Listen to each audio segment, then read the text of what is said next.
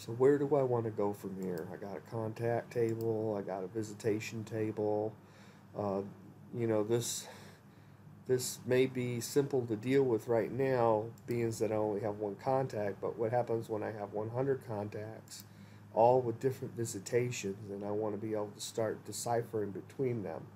So let's go ahead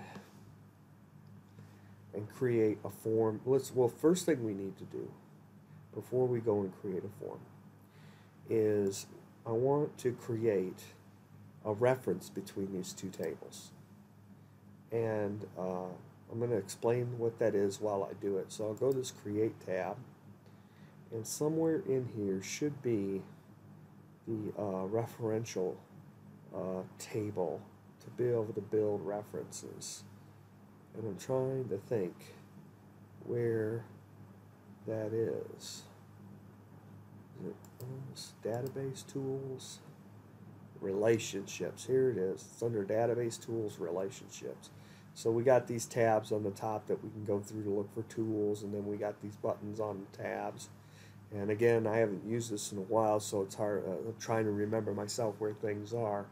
Uh, here's this relationships uh, form building thing. So if I click on this, uh, I get this window that I can add tables and queries to, right? And I need both of these. I need a contact and I need the visitation table. Those are the two I need. So I'm going to close this. And the only relationship I need right now is that this contact ID should be related to this contact ID right here. And when I get this, I get this relationship building dialog box. And uh, it shows the two fields from the both different things. And then I could just create it as is with what's considered no referential integrity. Uh, and uh, and um, let's see here, this update related fields and delete related fields thing um, relates to the fact that if I have a contact, here let me just try to explain this. If I have a contact over here and they have a bunch of visitation dates, and at some time as I'm managing this database, I decide to delete one of these contacts for whatever reason. Do I want to delete all their visitation records? And if I do, um, I can set up what's called referential integrity right? So that I can just delete one of these records and it will automatically go and delete all the records that are related to it. And I think that this is going to be a good idea for now. Okay, and so with doing that, uh, there's another thing that comes with this. If I was just to click this by itself, basically what this would enforce, because that's the word that's used here, enforce referential integrity, um, it would require me to use only numbers in the contact ID column on the visitor table, visitation table, that relate that actually had a record in the contacts database. I couldn't just create a visitation dates record for a contact ID that did not exist in the table. That's what this is doing right now. Uh, if I do the update, um, it, kind of doesn't really make sense for this situation right here because the, the field is an auto ID field.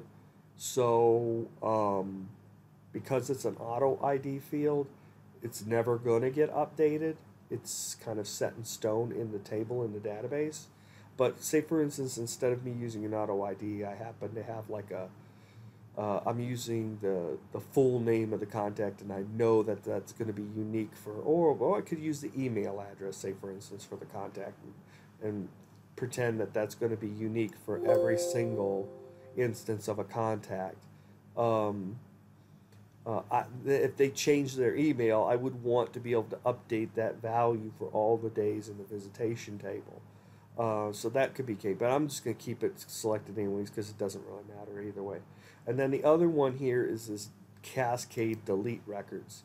Um, what this means is, going back to my original talking about I can't make a record on this side if I don't have a number on this side. Well, if I decide to delete a record on this side, I want to be able to delete all the records on this side. That's what's going to happen. If I delete a contact, all of its visitations are going to get deleted. If I undelete this, it won't.